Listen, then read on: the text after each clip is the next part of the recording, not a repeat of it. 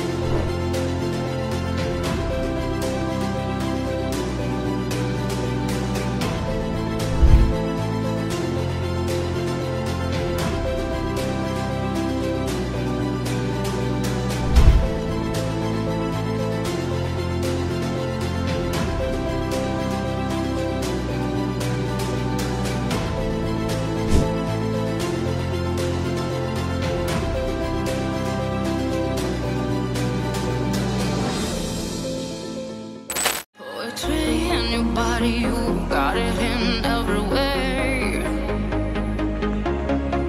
And can't you see it's so I'm watching? I am hot for you.